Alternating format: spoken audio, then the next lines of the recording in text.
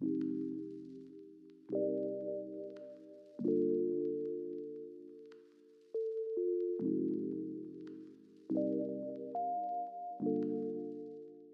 passengers. Welcome aboard the PSP Locus Novus. I am your captain, Alamort Blatherskite, and it is time once again for a story. I hope you're all excited. Today we will be reading Hansel and Gretel by the Brothers Grimm. Near a great forest there lived a poor woodcutter and his wife and his two children.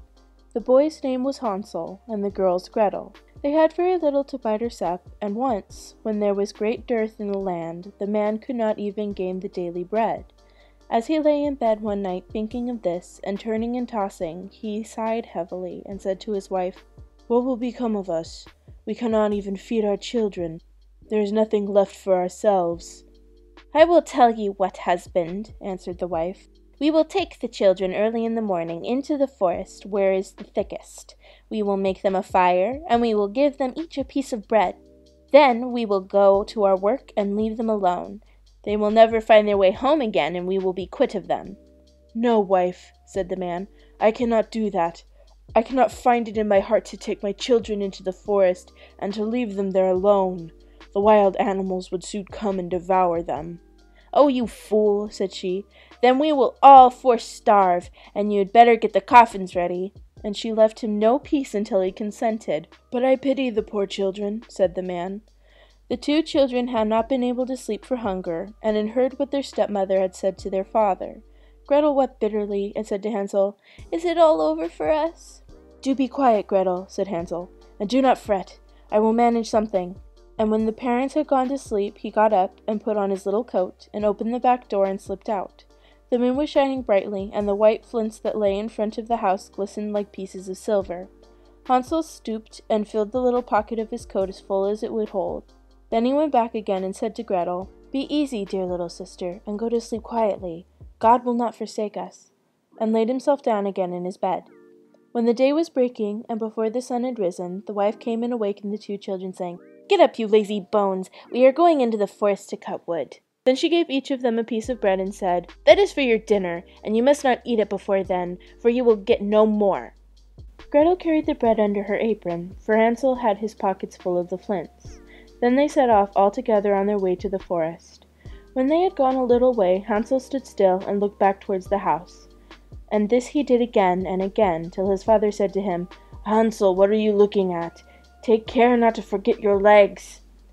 Oh, father, said Hansel, I am looking at my little white kitten who is sitting up on the roof to bid me good-bye. You young fool, said the woman, that is not your kitten, but the sunshine on the chimney pot. Of course Hansel had not been looking at his kitten, but had been taking every now and then a flint from his pocket and dropping it on the road.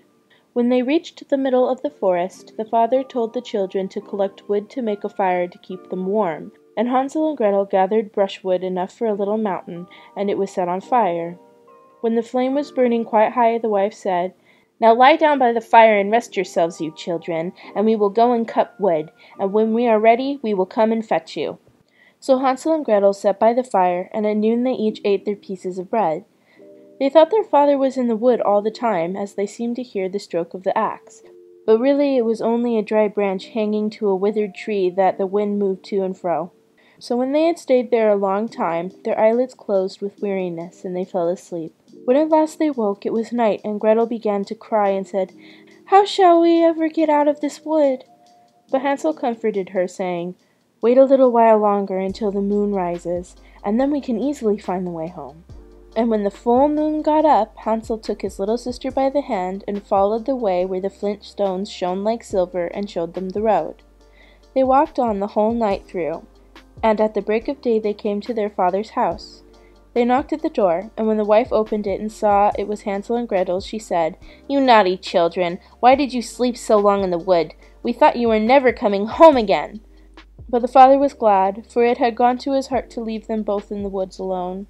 Not very long after that, there was again great scarcity in those parts, and the children had their mother say at night in bed to their father, Everything is finished up. We have only half a loaf, and after that the tale comes to an end. The children must be off. We will take them further into the wood this time, so that they shall not be able to find a way back again. There is no other way to manage. The man felt sad at heart, and he thought, It would be better to share one's last morsel with one's children. But the wife would listen to nothing that he said, but scolded and reproached him. He who says A must say B too, and when a man has given in once, he has to do it a second time. But the children were not asleep, and had heard all the talk. When the parents had gone to sleep, Hansel got up to go out and get more flint stones, as he did before, but the wife had locked the door, and Hansel could not get out. But he comforted his little sister, and said, Do not cry, Gretel, and go to sleep quietly, and God will help us. Early the next morning, the wife came and pulled the children out of bed. She gave each of them a little piece of bread, less than before, and on the way to the wood Hansel crumpled the bread in his pocket and often stopped to throw a crumb on the ground. Hansel, what are you stopping behind and staring for? said the father.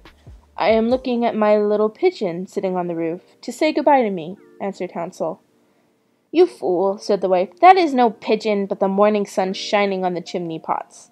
Hansel went on as before, and strewed breadcrumbs all along the road. The women led the children far into the wood, where they had never been before in all their lives. And again there was a large fire made, and the mother said, Sit still there, you children, and when you are tired you can get to sleep. We are going into the forest to cut wood, and in the evening, when we are ready to go home, we will come and fetch you. So when noon came, Gretel shared her bread with Hansel, who had strewn his along the road. Then they went to sleep, and the evening passed, and no one came for the poor children. When they awoke it was dark night, and Hansel comforted his little sister and said, Wait a little, Gretel, until the moon gets up. Then we shall be able to see the way home by the crumbs of bread that I have scattered along it. So when the moon rose they got up, but they could find no crumbs of bread, for the birds of the woods in the field had come and picked them up. Hansel thought they might find the way all the same, but they couldn't. They went on all that night, and the next day from morning until evening, but they could not find the way out of the wood, and they were very hungry for they had nothing to eat but the few berries they could pick up. And when they were so tired that they could no longer drag themselves along, they lay down under a tree and fell asleep. It was now the third morning since they had left their father's house. They were always trying to get back to it, but instead of that they only found themselves further in the wood. And if help had not soon come, they would have starved. About noon they saw a pretty snow white bird sitting on a bough, and singing so sweetly that they stopped to listen. And when he had finished, the bird spread his wings and flew before them, and they followed after him until they came to a little house, and the bird perched on the roof. And when they came nearer, they saw the house was built of bread, and the roof with cakes, and the window was of transparent sugar. We will have some of this, said Hansel, and make a fine meal. I will eat a piece of the roof. Gretel, you can have some of the window. That will taste sweet. So Hansel reached up and broke off a bit of the roof, just to see how it tasted, and Gretel stood by the window and gnawed at it. Then they heard a thin voice call out from inside, Nibble, nibble like a mouse, who's nibbling at my house? And the children answered, Never mind, it's the wind. And they went on eating, never disturbing themselves. Hansel, who found that the roof tasted very nice, took down a great piece of it, and Gretel pulled out a large round window pane and sat down and began upon it. Then the door opened, and an aged woman came out, leaning upon a crutch. Hansel and Gretel felt very frightened, and let fall what they had in their hands. The old woman, however, nodded her head and said, Oh, my dear children, how come you are here? You must come indoors and stay with me. You will be no trouble. So she took them each by the hand and led them into her house. And there they found a good meal laid out of milk and pancakes with sugar apples and nuts. After that she showed them two little white beds, and Hansel and Gretel laid themselves down on them and thought they were in heaven. The old woman, although her behavior was kind, was a wicked witch, who lay in wait for children and had built the little house on purpose to entice them. When they were once inside, she used to kill them, cook them, and eat them, and then it was a feast day with her. The witch's eyes were red, and she could not see very far, but she had a keen sense, like the beasts, and knew very well when human creatures were near. When she knew that Hansel and Gretel were coming, she gave a spiteful laugh and said triumphantly, I have them, and they shall not escape me. Early in the morning, before the children were awake, she got up to look at them, and as they lay sleeping so perfectly with round rosy cheeks, she said to herself, What a fine feast I shall have! And then she grasped Hansel with her withered hand and led him into a little stable and shut him up behind a grating. And call and scream as he might, it was no good. Then she went back to Gretel and shook her, crying, Get up, lazy bones, fetch water and cook something nice for your brother. He is outside in the stable and must be fattened up, and when he is fat enough I will eat him. Gretel began to weep bitterly, but it was no use. She had to do what the wicked witch bade her. And so the best kind of victuals were cooked for poor Hansel, while Gretel got nothing but crab shells. Each morning the old woman visited the little stable and cried, Hansel, stretch out your finger, that I may tell if you will soon be fat enough. Hansel, however, used to hold out a little bone, and the old woman, who had weak eyes, could not see what it was, and supposing it to be Hansel's finger, wondered very much that it was not getting fatter.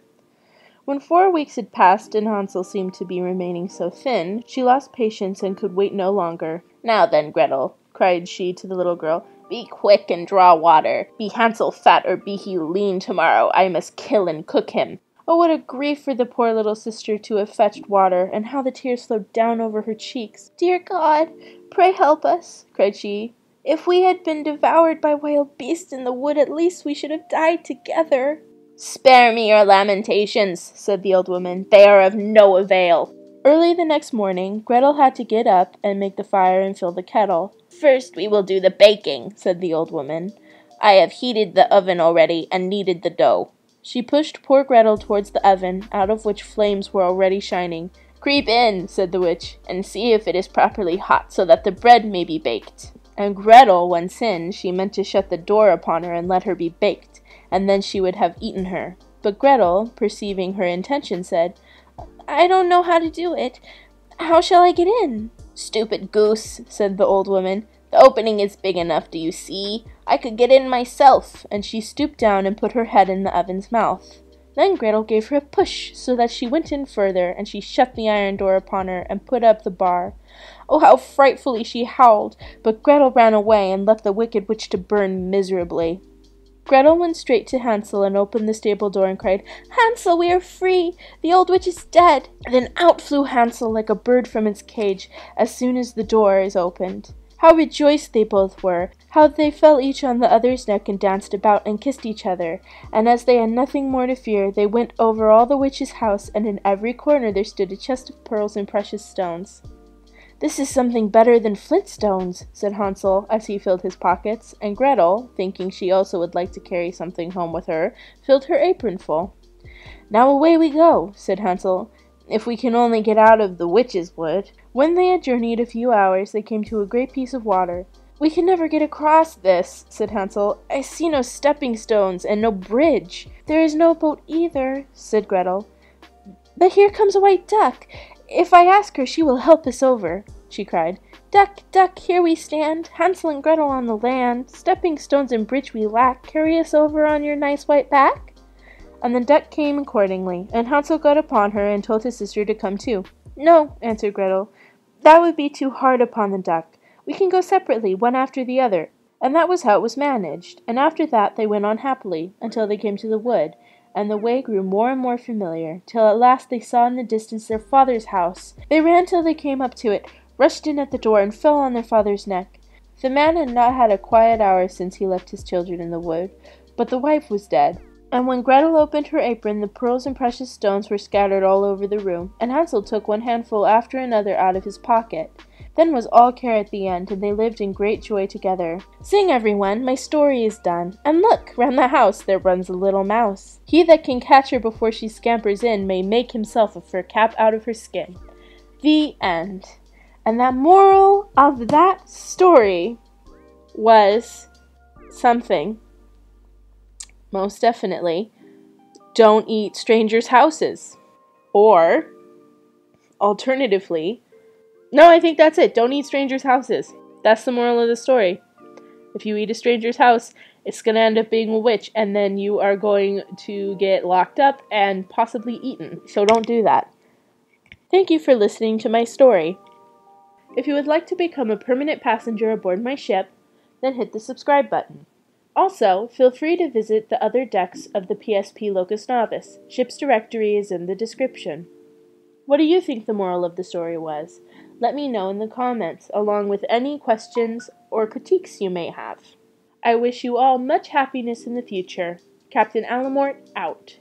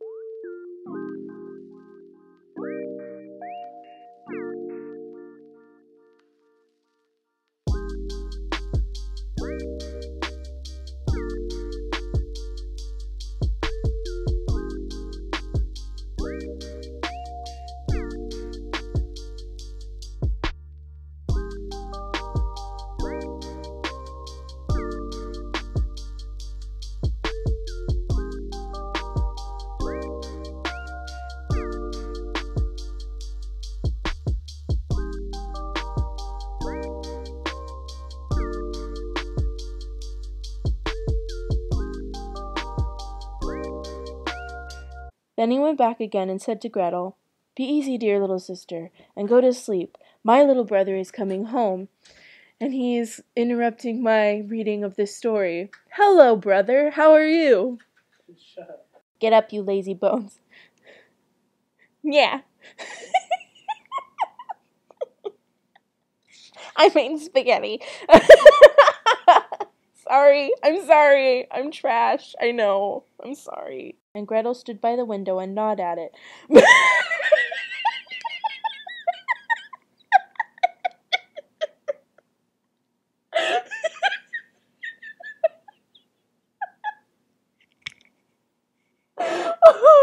if that's not just the most gosh darn absurd image that has ever popped into my head, I don't know. And Gretel pulled out a large round window pane and sat down and began upon it. Good, she's not just chewing on the side of the house now. Get up, lazy bones.